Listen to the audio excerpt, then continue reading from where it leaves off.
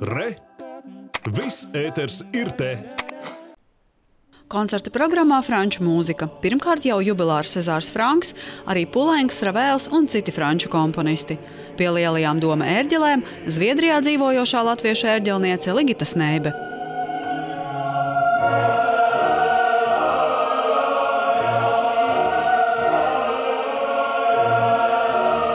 Par šī festivāla koncerta pārsteigumu kļuva Parīzes Dievmātes katedrāles ērģelnieka Iva Kastaņē, Mesa korim un divām ērģelēm. Šāda saspēle Rīgas domā ir kas vēl nebijis.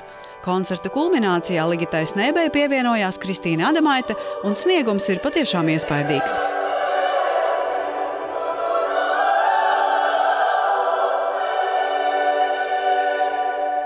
Izaicinājums bija ļoti liels un varētu teikt, mēģinājumi vienmēr ir pa maz. Un, un tas gala rezultāts notika principā koncertā. Ir ļoti vērtīgi, ka ir tāda profesionāla komanda un, un brīnišķīgi muziķi un arī tehniskais eh, personāls, kas mums palīdzēja. Tas attālums un, un tā neprognozējumība, un jūs varat iedomāties tā reverberācija, kas ir šeit Doma baznīcā, ar to, nu, tā ir tāda arī, nu, tā, kaut kāda pieredze jau ir uzkrāta pa gadiem, un tad, protams, ka tu ļoti koncentrējies, un, un ir kaut kādi momenti, kad tu drīksti, un ka tev tieši tu absolūti nedrīkst klausīties, tev ir jāturās pie kaut kādiem saviem stingriem tempa noteikumiem. Šis priekšnesums nebūtu iespējams bez tehnoloģijām, kas no lielo ērģeļa augstumiem ļāva sekot līdzi korim un otrām ērģelēm. Nepārvērtējama ir arī asistentes loma. Jolanta Barīnska, kas šo darbu darīja, viņa ir brīnišķīga, jo viņa varēja būt gandrīz vienlaicīgi abās pusēs, un jūs redzējāt, cik viņa elastīga un, un veikla ir ļoti labs atbalsts.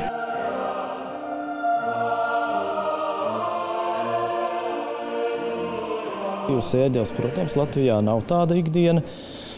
Bet nu, šis skaņdarbs tieši tā ir rakstīts, balstoties uz lielām franču katedrālēm, kur ir, kur ir pierasts, ka ir lielās ēģeles, galvenās un ir tā teikt kora ēģeles, kuras ir priekšā.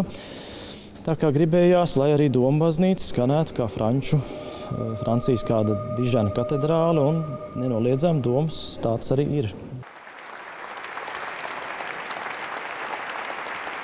Ilva Everte, Oto Ailts, Latvijas televīzija.